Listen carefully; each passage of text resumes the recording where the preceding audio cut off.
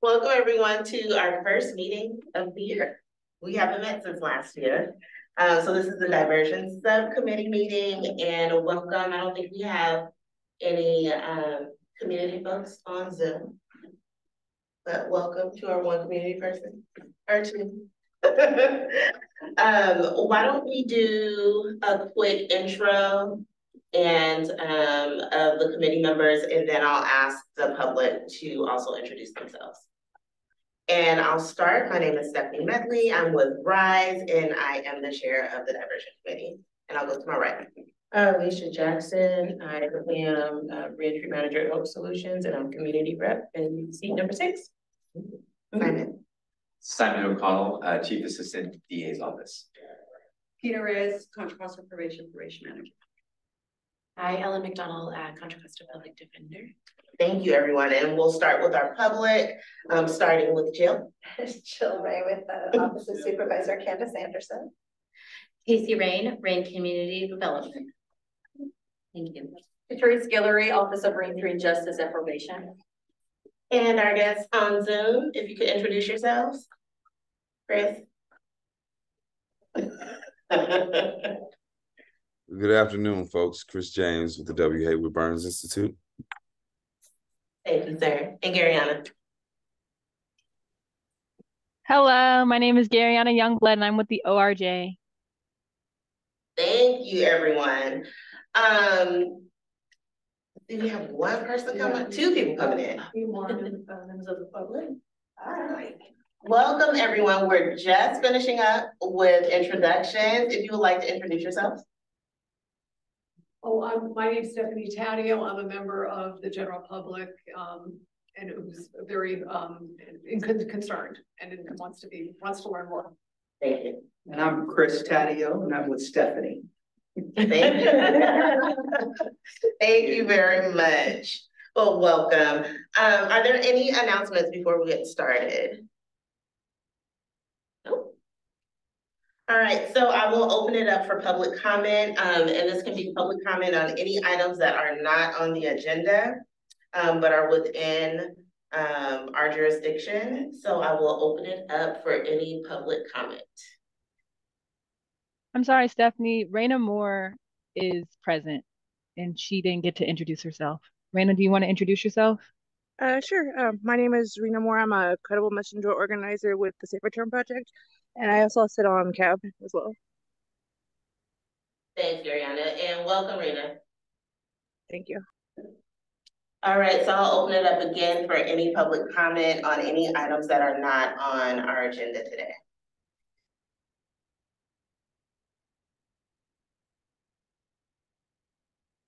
All right, hearing none, we will move on to our next item, and that's the approval of our record of action from October twentieth, twenty twenty-two.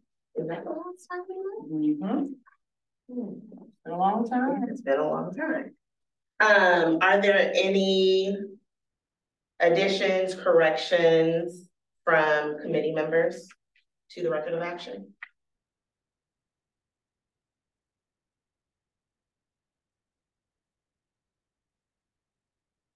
Oh, well, happy belated birthday, friends, and it's coming up again. Um, I'll open it up for any public comment on the record of action. All right, hearing none, can I get a motion from the committee to accept the record of action? I'll make that motion, Stephanie. Thank you, Simon. You have a motion from Simon. Can I get a second, please? Thank you, Tina. Um, and can we do a quick roll call vote? Patrice or Ariana? Absolutely. Uh, Stephanie Medley, Yes. Alicia Jackson, Abstain. Simon O'Connell, Yes. Ellen McDonald, I'm gonna abstain. Tina Reyes. Yes. We have three yeses, two abstentions, motion carries. Thank you, Ariana. All right, so we'll move on to item number four on our agenda. And this is to discuss and finalize the language for eligibility criteria. Um, as many of you know, we have been working on eligibility criteria. We focused on um, the adult criteria um, for diversion over, I think it was over um, all of last year. And um, one of the things that came up is that we wanted to analyze data to ensure that we weren't, um, that the eligibility criteria was um, consistent with ensuring that we're reducing racial and ethnic disparities. Um, but also we know that there's been some issues with gathering data. Um, and so we're still working on that. We also talked about who actually holds the data um, and who can analyze that data. Um, however, uh, with the criteria, Simon worked on some of this criteria. I think Ellen did as well. And um, I know I'm missing somebody.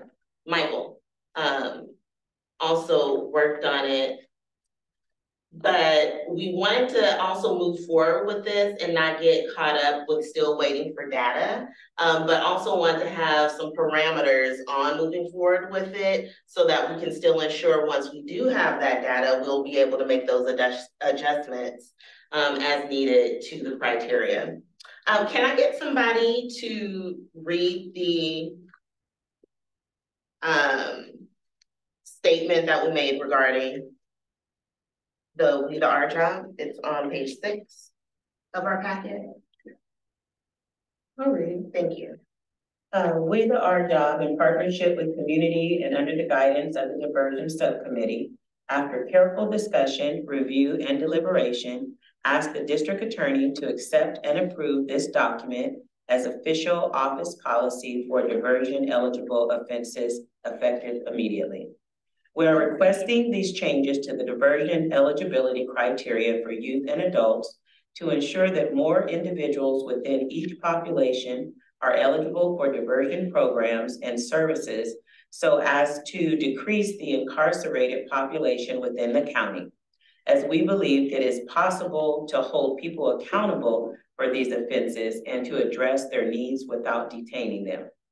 Finally, we encourage that there is currently, excuse me, finally, we acknowledge that there is currently a lack of data with which to project or analyze the racial impact of the diversion criteria set forth and request this criteria be used until sufficient data capacity to examine the racial impact is established, at which point these criteria should be examined and, if necessary, revised to eliminate any racial and ethnic disparities which may impact populations of color. It is with the understanding of all of the above that we request the DA's office to consider the following offenses, the only ones excluded from diversion eligibility and that persons charged with any offense besides those named below will be considered eligible for diversion. Thank you very much. Um, and so we don't have the attachment of the criteria, but we've gone over it before. Um, and that was only for adults. We still need to work on criteria for young people. Chris, is there anything else you wanted to add? Yeah. Um, so thank you all for for all of that. Uh so a couple things. Uh, Stephanie, I think you gave a great uh, overview. Uh, what I would add is number one, that um, in a conversation with DA Becton many moons ago, uh, she had already um, explained uh, that that she would be absolutely fine with um, moving something like this as uh, office policy, right? Once we all uh, settled on criteria, so that's why you know that language is is there. Um, something that she she was already in support of of of doing. Um, and additionally, right as I was drafting this at first, uh, it, it took me a while to to remember that we started with trying to name um, the the offenses that would be diversion eligible. And then Simon had the idea that it's probably easier to name the relatively fewer uh offenses or charges that would not be eligible. So that's why there's that language in the bottom sort of clarifying that what we're saying is everything but what's listed here should be eligible for diversion. Um, and if there's a way to more more forcefully say that, um, I'm I'm fine with it. Uh, as always is the case, um, this is just you know a draft uh, for you guys to review and, and revise however uh, is necessary. But I, I think the main thing um, that I would point out is making sure that there's language to say when there's sufficient data, we want to uh, look at this again um, and make any necessary adjustments to make sure we eliminate disparities. Um, and that even though we did have adult population um, criteria and I could have attached it, I didn't uh, because it's been so long since we've seen it that it seems like you know before we would want to sort of move that forward number one I, would recommend that we do it all at the same time. Um you know that we because we'll be waiting for you know a couple months um for a a, a, a full body meeting. Um and so rather than having two separate full body meetings to do the same thing uh, we might be able to sort of tidy this all up and present it um, to the body in one meeting, but that's up to you guys to decide. Um, but outside of that, um, just that we want to make sure um, that we look at um, even the adult population uh, criteria that we've done and see if there has been any shift or if there's any discussion or clarification that we need to make on it because again, it's probably been since sometime on or before October 20th of last year that everyone looked at this and, and began to have those questions about data analysis. So I think those are the main uh, points to bring up. Um, so we'll open it up now for the committee to discuss. and thank you for drafting this, Chris.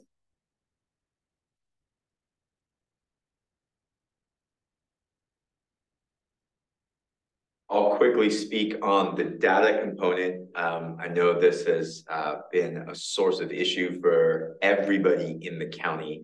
Um, and since the time that we last met on this topic in October, um, and Chris, thank you for giving the life arc um, of, of, how we got back to here. Um, I really appreciate that. On data, um, I'm really excited to say we now have a data analyst within the district attorney's office.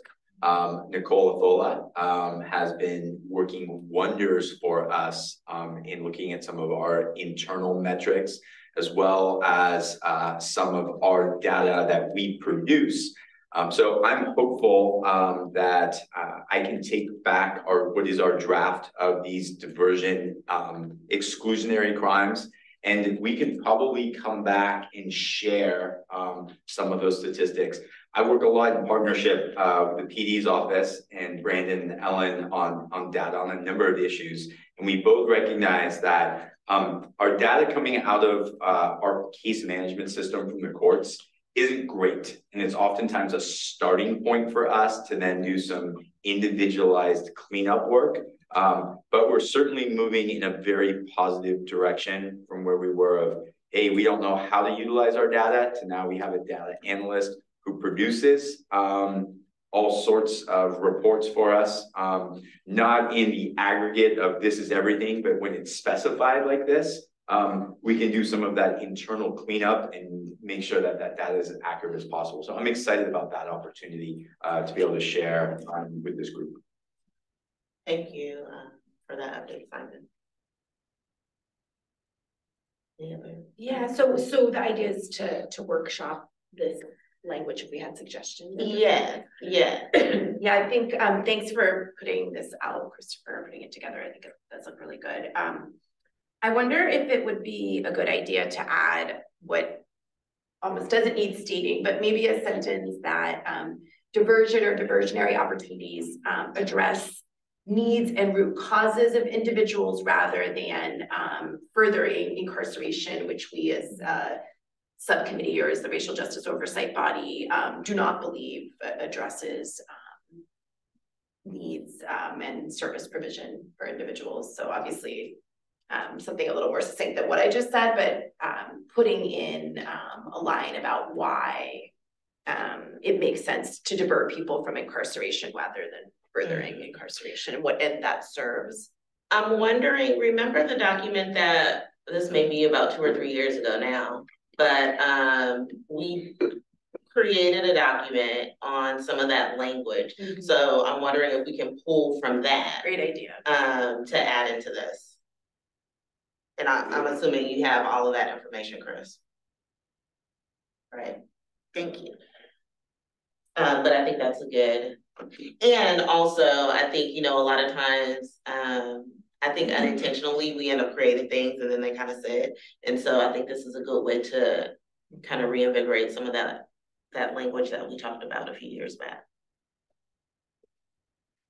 And then I don't remember as I sit here, and maybe Simon will remember, or Chris or Stephanie, whether we've talked about in this committee diversion. There are various types of diversion. There's diversion before charges are filed. There's diversion after charges are filed, what's called pre-plea diversion. And then there is sort of a post-plea diversion where somebody uh, might plead and their sentence would be diverted, which is not technically really diversion, but we have something similar to that in Contra Costa as well. So I don't know if we want to clarify. Um, I think from our perspective is early in the system as you can um, divert folks, not even have charges filed if possible. So if a post-arrest pre-filing um, diversion or a diversion that avoids arrest would be preferable. I imagine Simon's gonna say it would be hard to sort of prescribe where that falls and where the DA's office is comfortable putting that, but it might be helpful for the committee to state it is our belief that diversion should occur as early as possible in the criminal legal process so as to avoid you know this the the sort of barrier that even having um, charges filed presents to someone because I think we're asked we're using diversion as a very broad umbrella term, but in the technical sense, when you get um, into the life of a criminal case, it can hit at various points. I mean, I think that's a good point, especially too, when you're talking about young people going through the process as well, and I can't remember if we, yeah.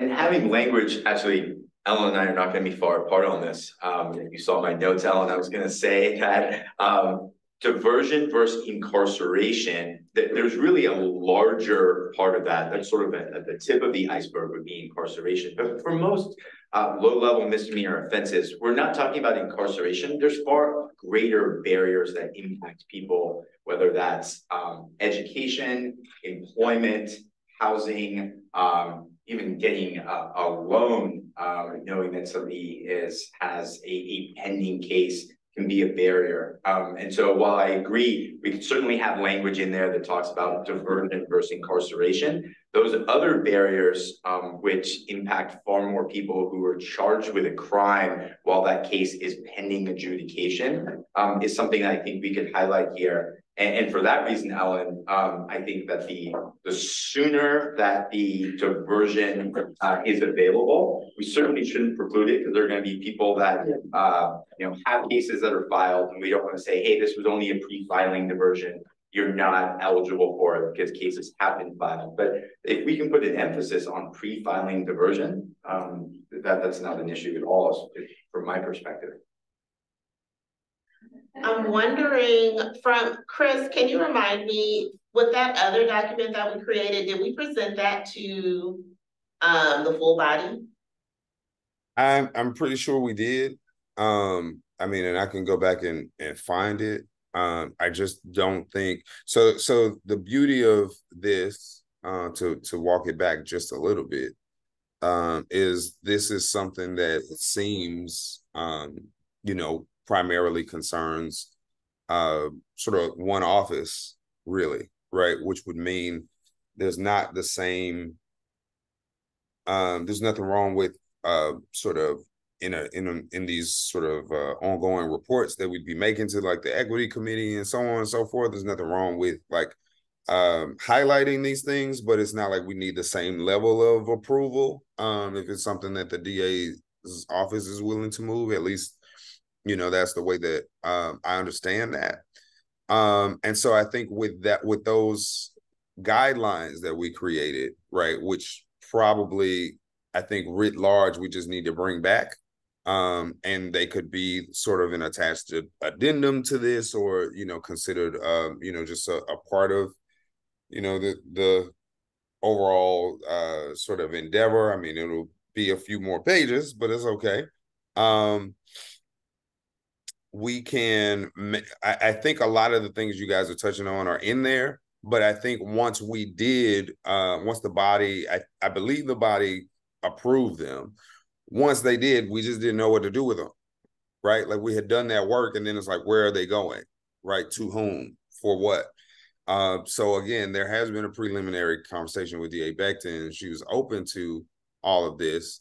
Um so i think you know in light of that, sort of reviving those, because again, I do think they they would have touched on uh, the majority of what's being covered here. Um, I'm again never opposed to revising or changing language here, um, but if that language is in a document that's already been developed, um, and it, you know, if we attach it and it looks like it says all of the things that you would want it to say that may be a, an even quicker way to move it forward. Um and i'm curious if because i mean ideally i i would like to do these things like as as soon as we can. Now i don't want to do it so soon that we're not being careful um and we're not uh executing well. But i wonder if by the time we're ready to um, move this forward, whether that's, I mean, obviously we have a um, we have a full body meeting in September, right, coming up. So the question is, could this go in the full body? Uh, could this go in the subcommittee report, Stephanie?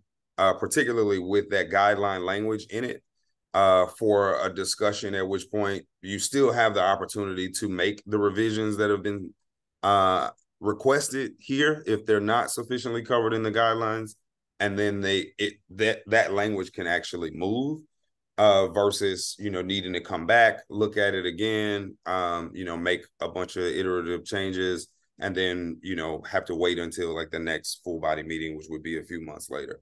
Um it i don't think it's a huge deal either way but i really like the idea that the diversion subcommittee is able to this is like your primary charge, right? Is uh, eligibility criteria for uh, youth and adult populations. So it would be huge to be able to move this, and I wonder if um, if we have already done some legwork years ago uh, that actually lends itself to to being able to move this forward, maybe more quickly than we're anticipating. Um, what are other folks' thoughts on going back to what Chris said, there is an opportunity. We have a, a meeting in a couple of weeks to present this language um, with some of the the additions that um, we've heard, or waiting till our next question. Um, waiting till our next committee meeting to kind of relook at this language, see what language we can pull from um, the previous document that we had to move forward, knowing that it would be a few more months before we shared it with the committee, the full body. I think we should share with the full body now and, and keep things moving forward as quickly as we can. And if Chris is even able to present any of that language at that point if he finds it. Um, or I mean, I think that there there are just one or two small things we would potentially add to this, but that the bigger the more important part of the process is hearing from the whole group of if folks feel like there's something we've missed. And so getting to that point earlier rather than later, um, which is Chris's right idea. Any other thoughts? And I think also this could give us an opportunity, um, not saying the other work that we've done just still is, you know, on the back burner, but this is a good opportunity for us to start revisiting um, that because now we do have something that we can actually now move on. Um, so I think it would be important for us to bring that other document back um, to the forefront. Because it's been probably a couple of years since we've actually looked at that. Maybe three. So the proposal would be to present this along with that other document at the same time for review to the full body. Well, to only present this Oh, with the revisions. Okay. But the language that you all are speaking of that they want to insert is in that other document. Mhm. and Chris could pull some of that language um to the, to make to the additions to this. So we can Prior present it, to- mhm, so okay. we can present it on the twenty first. Okay. Just wanted to be clear, thanks. Okay. Any other thoughts from committee members? And before we move on to public comment, um, just want to welcome Shantae, Shantae, if you just, LaShante, if you could. Introduce yourself. Hi, LaShanti Smith. Um, excuse me, I'm having like an allergy breakout right now. Um, Director of Student Services, um, and Behavior Supports, called School Climate over in West Contra Costa Unified School District. Thank you. All right, so we'll open it up now to public comment on this agenda item. I think I see something in the chat.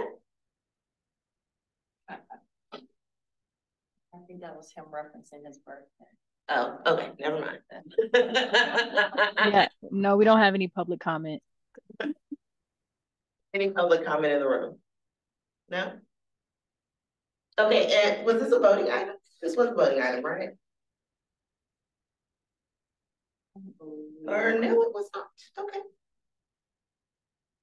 Okay, so everyone um is in agreement that we'll make those changes, pull in some um language from our previous document on criteria.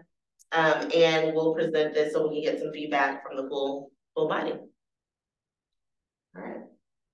Sounds great. All right, so we are gonna move on to our next agenda item, which is oh, our presentation on restorative justice from Casey. Thank you, Stephanie. Do you mind if I open it up for you, Casey? That would be fantastic. Great, okay. So we're really, RJ is really excited about, um, our, uh, effort to launch a restorative justice initiative. Uh, we received Measure X, um, funding to establish a, uh, community-based restorative justice effort. And so, uh, Casey is with us. She is a consultant that is gonna be project managing, um, the project for us.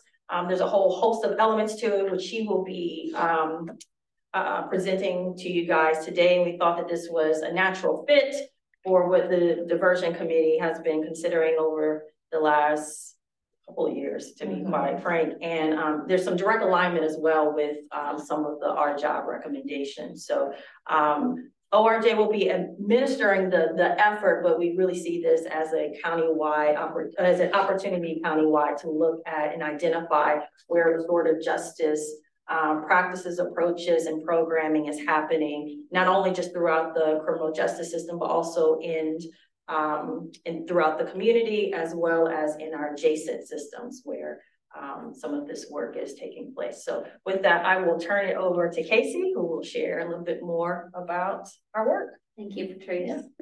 And um, Gariana, do you have the presentation as well? Yes, I have it in the agenda and I also have it. Do you want me to pull it up separately? You could pull it up so that we could go along with the presentation and then I'll ping back to the recommendations of the Racial Justice Task Force and how the work of this restorative justice initiative aligned with some of the things that the task force overall is doing broadly, as well as what this particular diversion subcommittee is doing. Um, so again, my name is, is Casey Rain. Um, I am the principal of Rain Community Development and um, as Patrice said, we are beginning the, the initial stages of this restorative justice initiative. Um, and next slide, please, Gariana. I want to make sure that I'm really clear about what, what we are doing here is that um, we understand here in Contra Costa County that there is a goal to broadly adopt throughout a number of systems, the philosophies and practice associated with restorative justice.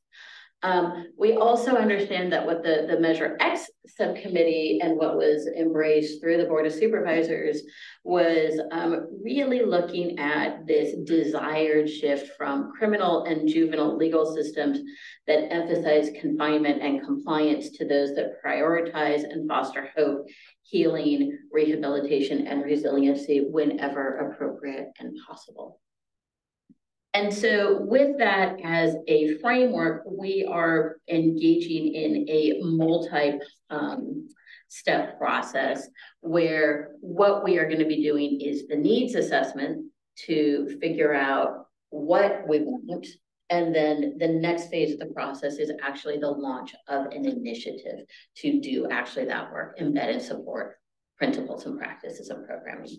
So the team, um, next slide please, Garyana, includes myself, uh, Casey Rain, uh, my colleague Brightstar Ohlson, Peter Kim, um, with Bright Research Group, and our colleagues Earl Sims, Amina Elster, and Malachi Scott. Um, all three of those latter colleagues all have lived experience um, in various ways with the justice system and are practicing restorative justice experts. So they themselves hold circles um, and do RJ work in the community, uh, primarily in Alameda County, also some work in San Francisco County. So we are bringing some system practice expertise into this as well. Um, Yes, please, Garyana. Yes, you're doing just right. so I want to be clear that this work is going to be happening in in multiple phases, and um, the first phase is what we're kicking off right now with the needs assessment. This is about a six month process. Um, uh, it involves both background research, attending meetings like this is a component of the background research. We've been attending other RJOB committee meetings, task force meetings, CAB meetings, um, trying to pay really close attention to the dialogue that's happening in the community. Went to a DeSaulnier sponsored town hall meeting on youth mental health to just hear what people are saying in this community we're also doing key informant interviews, talking to a number of community stakeholders, hoping to actually talk with a number of either yourselves or you know those that you recommend from your offices. Um, as part of the key informant interview process, also a number of other people that we're working on um, in partnership with Patrice and the Office of Reentry and Justice. But sometimes it's, you know, hearing from someone like you and saying, oh, you really need to talk to. So we're going to be trying to listen to a lot of people. Um, those conversations are going to help us frame what's going on in the community. And we're looking at doing a formal launch of the work um, in late September. I do have a date to announce, which is Tuesday, September 26th. It will be in the morning. Mm -hmm. All right. If you could just do a save the date, we're hoping to get everything confirmed with meeting location and time, and then we'll get a save the date notice out. Um, but at that community launch workshop where we're really going to be engaging um, a range of system partners, meaning system partners, those engaged with the juvenile and criminal justice system who primarily work for justice entities, of the government and non-system partners, meaning those who become, who belong and are engaged with community-based organizations, educational settings, faith-based groups, but those who primarily have some background and awareness and understanding of restorative justice principles and practices. And that's really going to set the framework and the tone and help us define our shared vision and parameters. From that, we launch into our more community-driven exploration of interests, needs, um, sentiment strategies, and really doing some community groundwork through a community survey and focus group. All of that information comes back to a steering committee that we're looking at forming in October. More about the formation of that will be discussed at the community launch workshop. The steering committee stays with the project ongoing for a multiple year period. Um, and they are part of the process of picking and selecting and defining how we will use the Measure X funds that are allocated to restorative justice initiative, how we will allocate those funds. So there, there is both a review of the needs assessment and the planning process and the recommendation, but the bigger work is around making decisions around implementation. Wrapping up this needs assessment, of course, we will, you know, develop, you know, a report and all of that then goes into, next slide, please. Um, really getting into the weeds of the project design. We do anticipate that there will be some kind of agreement on what is needed that might result in a desired scope of work and RFP or scope of works plural and RFPs plural around what we are looking for. Um, it will also probably lead to some kind of agreements about what we're doing and what kind of tools we are using. Again, that comes back to this diversion um, subcommittee as you guys are also looking at some ways that you are defining practice, defining what is diversion, um, defining how we even think about restorative justice within the context of diversion, who might be eligible, what criteria might be, things like that. So there will be different ways that we will pin, ping back to different committees and subcommittees such as this. Ultimately, what we are looking for is if we can really work the timing right, keeping my fingers crossed, right? We get a scope of work and an RFP put together early 2024. It goes out to the community. We review and vet them. We can start looking at contracting July and August. Certainly by December 2024, we've got some trainings going. We have some programs ready to start rolling out. I know it takes a while to hire and train after an RFP goes out and somebody's awarded and contracting with. So trying to give that whole process a full year. And then we can really actually start using our Measure X funds to really do work on the ground, um, ideally no later than January 2025. And then we can come back um, and really say, okay, this is how it's working, this is what it's working, this is what we need to do to sustain things. Um, some of it might be direct services, some of it might be training. That is all what the needs assessment is supposed to be figuring out. But yeah, it is a two-year process. Needs assessment kicks it off and then a lot of implementation work. Um, so, you know, I do want to say just a final word as we start, uh, just in conclusion um, to here, and if you could just move the slides, uh, Ariana. Um, you know, oftentimes when when we do this work, we, we have like a clear problem statement and you know, that drives the solution and then we have some measures of success. I would say that we're still building that model and it will take a lot of input from a lot of different, um, both community and institutional state systems actors, uh, both individuals and maybe even running it through, you know, larger collectives of, of employees who have vested interests in different things to make sure that um, we're implementing something that is um, feasible, timely, within budget. Um, smart E, I don't know if you guys use the, the smart language here about specific and measurable, all those kinds of things. I like adding the E at the end for equity driven, right? It's not just smart, it's smart E. Um, there will be a balance in all of this that I just want to state at the outset is that some things appropriately need to, to be run with and through our system partners, and some things need to be run with and through our community partners.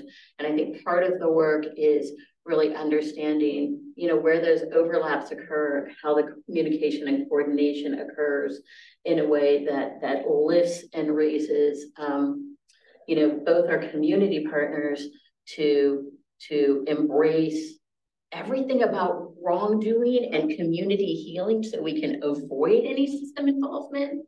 And then understanding that if things do get to system involvement, that there's again other ways, additional ways with within and next to the traditional justice system that we can also plug into to really meet these Measure X um, goals. And um, and that's that's really where I'm coming from. So I just wanted to frame kind of the why and the, the, the approach that we as the consulting team are taking. And that concludes my presentation to this committee, and I'm happy to take questions. If you have questions about the process or about me, or about, more about our team members, happy to answer any questions that you might have. Thank you, Thank you. Any questions from subcommittee members? Yeah, this is really um exciting and I think much needed for Contra Costa, which is I imagine the vision of what the board saw when they allocated this funding to study and- really look at our restorative options and build them here in Contra Costa. Um, when you get to that implementation phase and you're talking about things like cross-partner trainings or launch program activities, can you just describe in a little more detail kind of what's the scope there and what what is envisioned in terms of who are the partners and what what what are the trainings, you know, how many?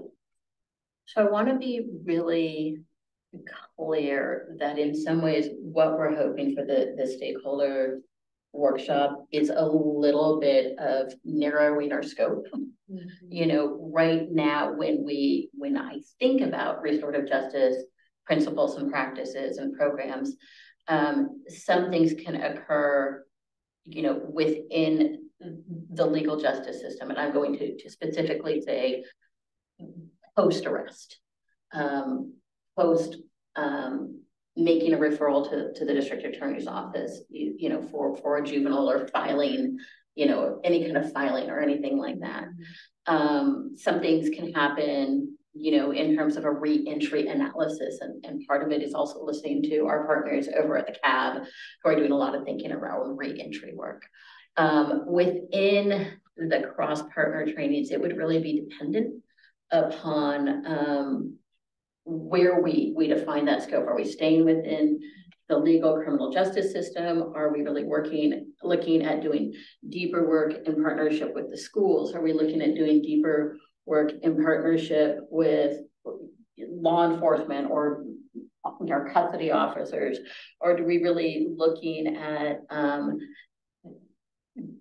you know, things where it's like, well, this is what you know, we mean by holistic defense, and this is how a holistic defense partners differently with prosecution and and you know when and how are holistic defense appropriate and making sure that you know even things like maybe you know maybe you understand that maybe you know your more senior attorneys understand that but you need to have something for you know your incoming um you know I don't know what you call them here in this county, but your, your, your level one, you know, prosecutors or defense attorneys or something that, you know, informs, you know, your partners in the judiciary, you know, this is what we are trying to do. Can you go along with it? So it could be at that level and it could be much more mundane. It could be, okay, we have selected these partners and these partners are going to be working in concert and in coordination with the public defender's office, with, with the district attorney's office, with the, you know, probation department. Um, here's how they work and you need to know how they work so that, you know, you understand the difference between, um, you know, something that happens, uh, pre-plea versus post-plea and what the, the consequences are. You understand what it means about reporting to the courts or not reporting to the courts. So I think there'll be a lot of work that we have to do, A, in the needs assessment and B, in the project design to figure out what trainings we need. For some of the trainings, which are macro kind of like vision and approach, we're going to be messaging all the way through. And then my understanding is that there's some effort through a recent grant of that was received through the probation department to do some more trainings. I understand that the County Office of Education is also kind of working with different school districts on training. So not duplicating training, but being more focused. So can I add one more thing? So just to answer your question really directly, um, Ellen, implementation, what those program activities might be, and as you were stating, what, what those specific cross-partner trainers will look like, is going to be determined by our project design. So it's yet to be determined now, which is why we're doing all this sort of information gathering. There's so much that's happening in the space of RJ in, in the county, just in general, small scale, big, big scale, and sometimes just housed within specific mm-hmm. departments or, you know, even at school, this school sites from versus school district versus the uh Office of Ed. And so we're trying to comb all of that information together to then hone in on where can we best apply these resources to one that's low hanging fruit and probably high priority that is articulated by all of the uh, important stakeholders and community. So when she's saying, you know, we're gathering all this information and trying to find the overlap, that's what we're, we're what we're trying to do. So it may sound like, well, what are you guys doing? We're, we're trying to determine that.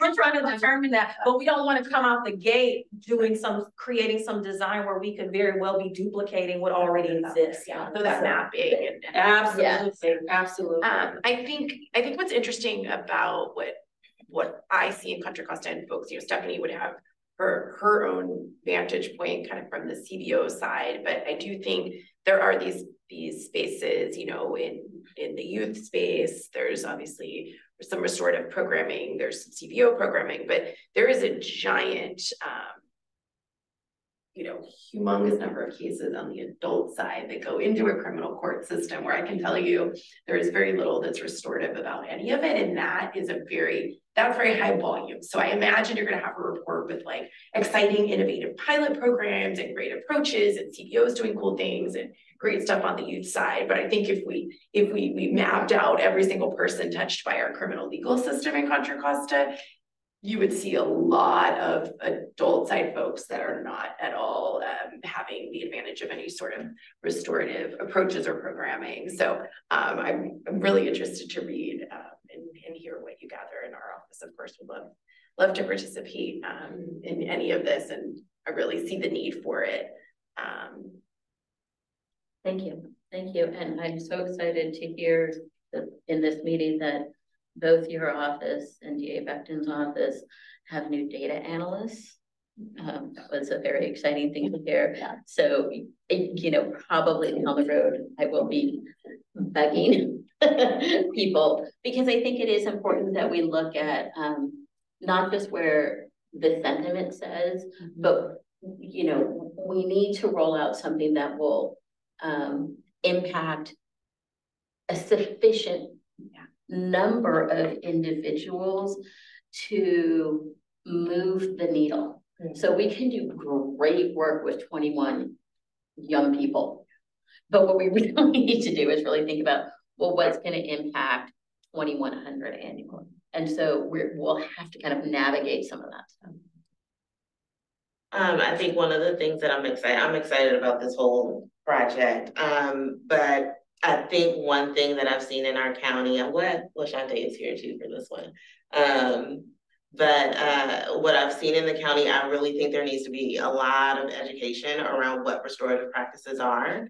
Um, because I think restorative, especially just saying restorative justice has kind of become this catch-all for um, what people think diversion should be or some type of diversion should be. And there are many different types of restorative practice that can be applied to different um, types of circumstances. Mm-hmm. And so I think it's important for justice, um, the system stakeholders, as well as CBOs as um, too, to understand, you know, there's these different avenues and pathways um, where restorative practices can be applied and there's different ways to implement it.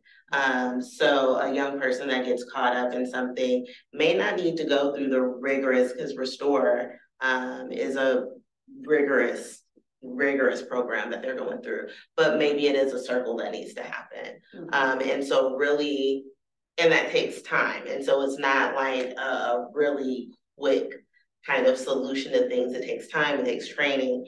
And I think that's a conversation that we really haven't had in the county um, because it's become kind of trendy to do restorative justice.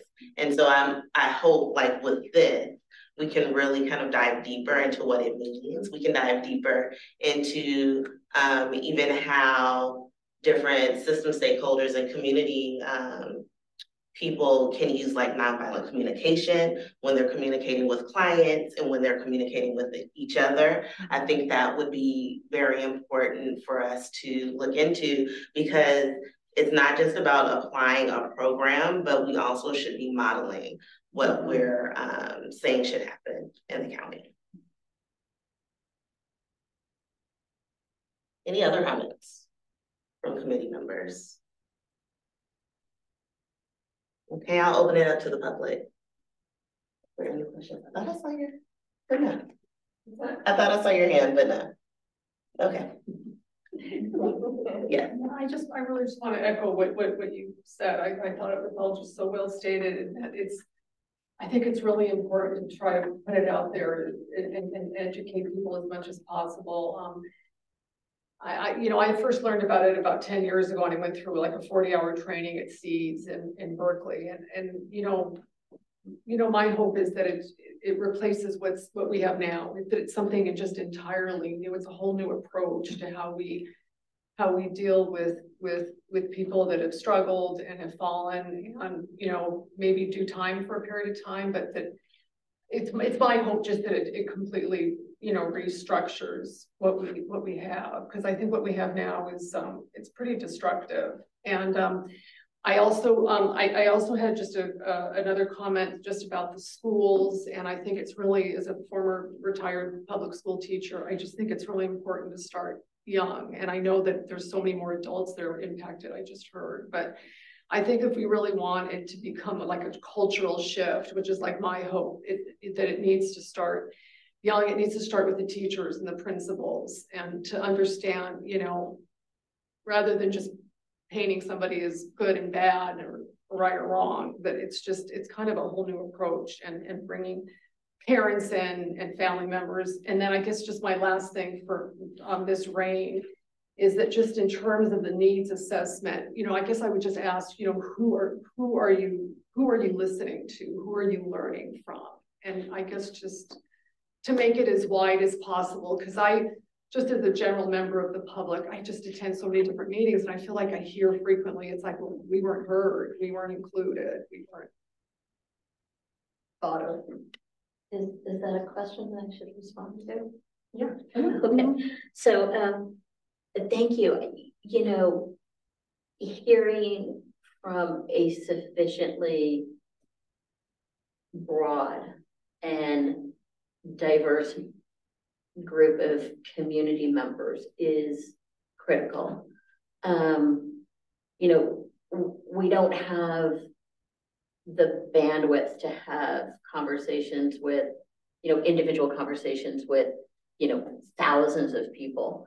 Um, what we are trying and hoping that we can do is do a community survey.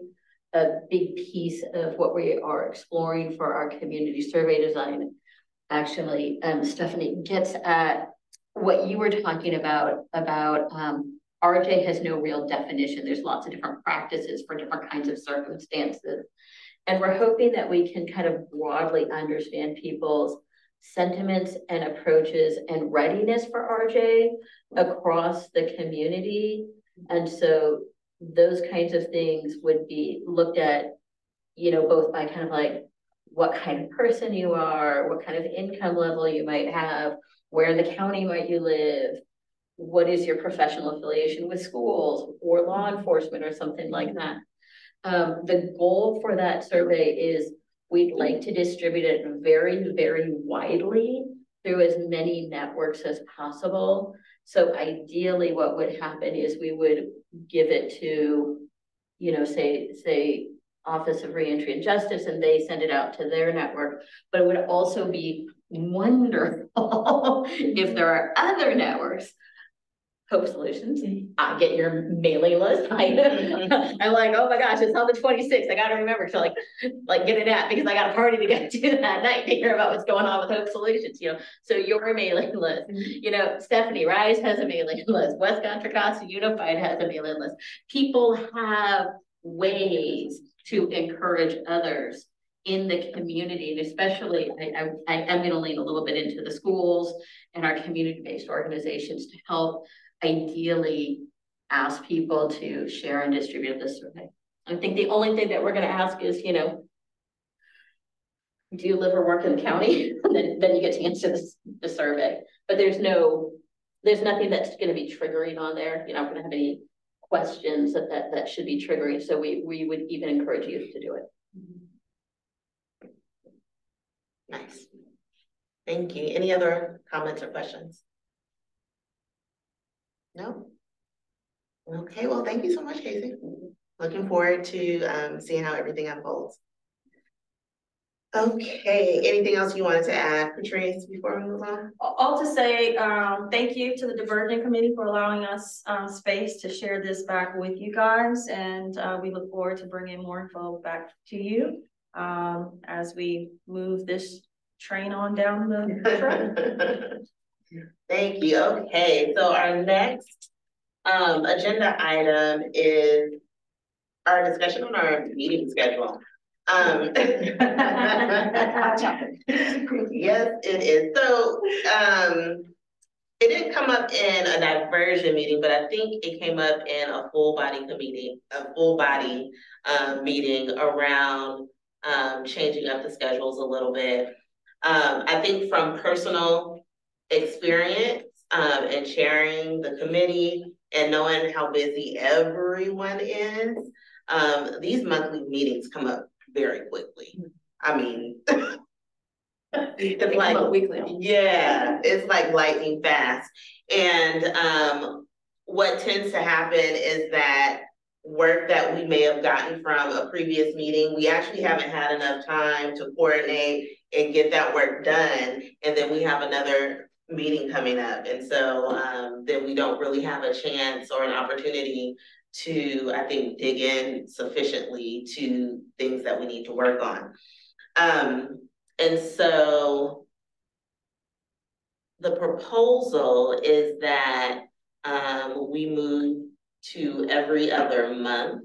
And I think we've kind of actually done that naturally, uh, just given how schedules have been. Um, and so I think if we went to an every other month schedule, that would give us some time to work on tasks that come up in those meetings.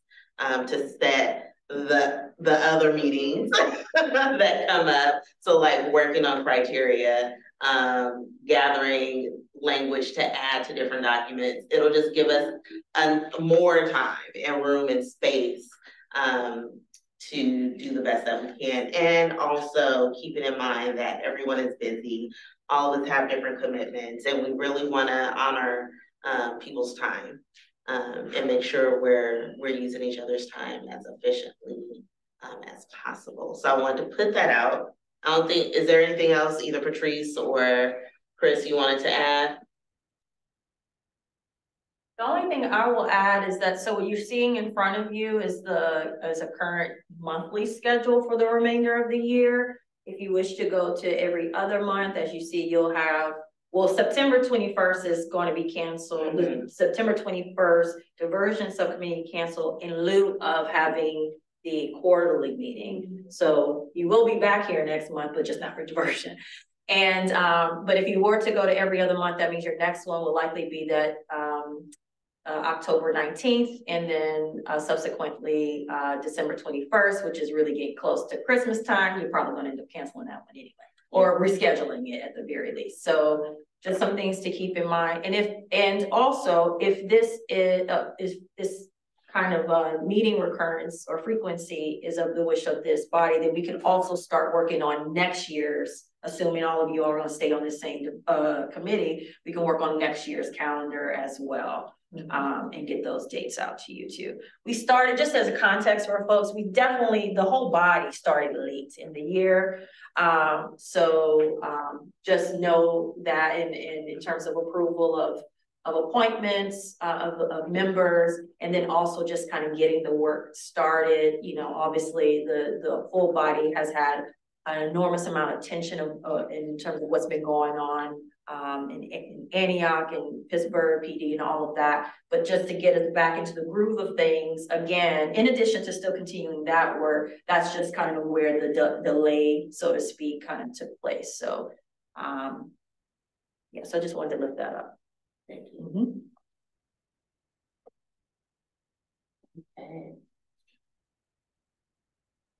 How do folks feel about that? I think it's a great idea to move it to bi monthly, give us more time to work on things.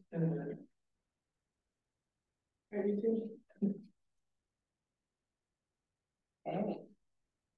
I, I agree. I wonder if there's a way to make sure we don't lose a December meeting if we move it up a week or something like that. I agree that the twenty-first is like, you know. Yeah, um, because I don't think, I mean, yeah, um, But I wonder if out we during doing it the week before. Mhm. We can definitely look at that, um, earlier in the month. So we're not canceling that meeting.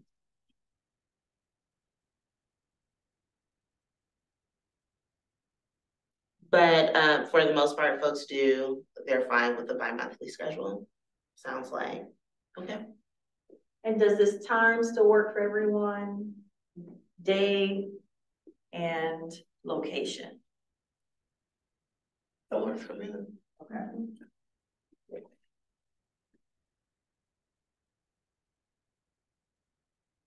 Do we want to look at December right now to see if we can find um a date that works for everyone? Let's go, Stephanie. Let's do it. Um, so, oops, let's get to the right month first. Uh, so other Thursdays would be maybe the seventh or the fourteenth of December. Are the other committees? Yeah, so we do have, let me get to mine.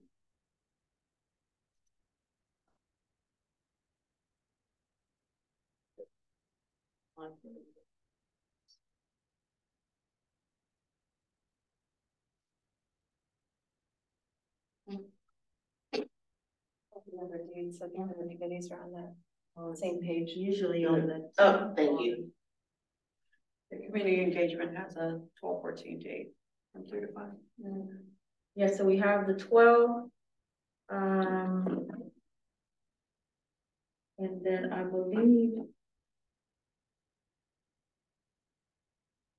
The fourteenth, which is what you just mentioned, right? Um, So we could do like a one to three. If. well, That's data. What time is the um community engagement meeting? That one's from three to five.